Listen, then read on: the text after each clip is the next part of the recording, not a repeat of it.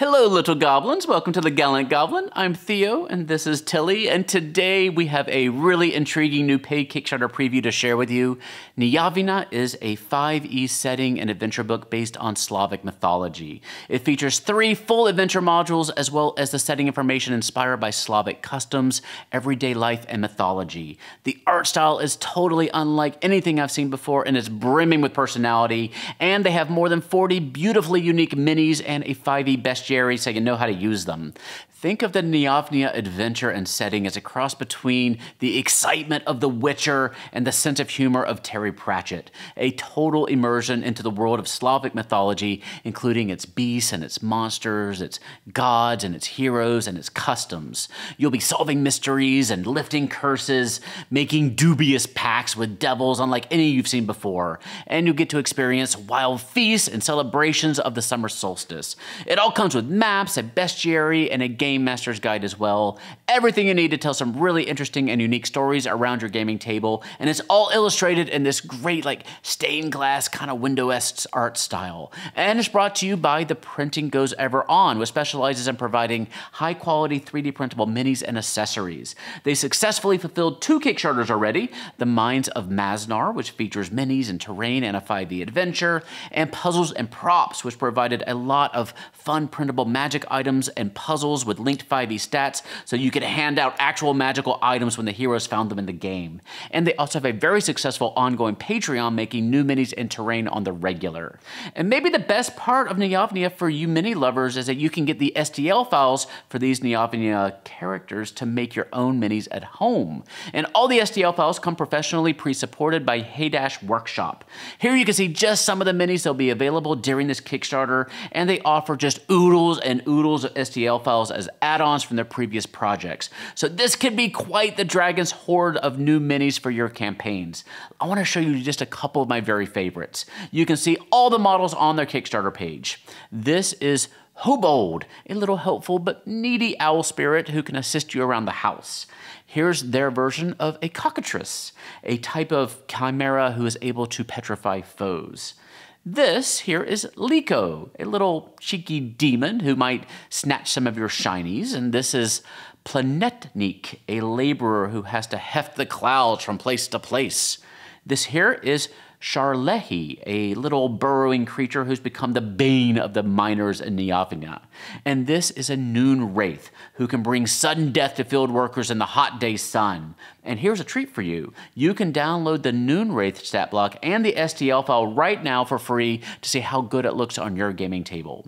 And don't worry, if you aren't a 3D printer, you can also get the physical versions of the minis sent to you if you prefer. Go check out all the minis in the core set for yourself on the Kickstarter page. They also have a few mini stretch goals as well, so hopefully we'll get a ton of fun new creatures for our games. As of this recording, they've already unlocked some really cool new ones like these air elementals. But now let's talk more about the book.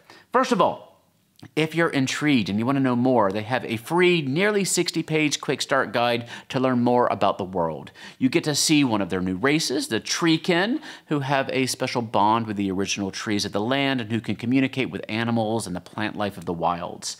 They also have a new subclass for the Druid in the free quick start guide, the Volkovs, who serve as connections to the spiritual world. They can gain control of creatures using their shadows, communicate with the dead, and read the strings of fate, among other abilities.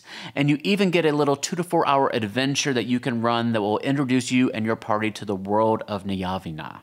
It's called Wedding Trouble. Your party will be magically transported to the world of Nejavina, where they will find a village that's preparing for a very special celebration. There's a wealth of new and detailed NPCs to meet and a great little mystery to solve. It is a really good introduction to the world and some of the really unique creatures that your PCs can encounter there. There are even some pre-generated characters and a printable or extractable map to help you hit the ground running. As far as the full book, they have gone all out. It'll feature all new Slavic themed D&D mechanics, four new races, the Treekin, Rusalka, Vuzalka, and the Diaval. I'm not sure if I'm pronouncing them all of them correctly. There are eight new subclasses for the fighter, druid, wizard, ranger, sorcerer, warlock, cleric, and rogue, plus new magical items and spells and rituals, all based on Slavic mythology, folklore, and cultural customs. And it's all really nicely formatted in their beautiful art style. The world of Nejavina is split into nine kingdoms or voivodeships. Each one has its own rulers and customs and creatures, and they each have a civilized side and a wild side, each with their own flavors. The setting guide will be really robust with chapters about what the life is like in Nejavina, from birth all the way through death, including their custom calendar, their cultural rituals, their celebrations, and their feasts. The included bestiary features 50 unique monsters and characters with illustrations, and of course, those printable minis. There are three adventure modules included as well, targeted at low, middle, and high level characters. They'll have both a world map and a lot of tactical maps for your encounters.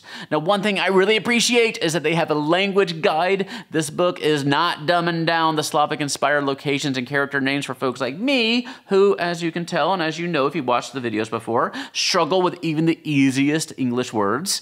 The included language guide really walks you through how to pronounce the tough words in this book with flair. More books need to have little language guides like this. And finally, you've got the Game Master's Guide to help you get familiar with the setting. It also contains lots of plot hooks and secrets and mysteries to help you tell your own stories in Nejavina.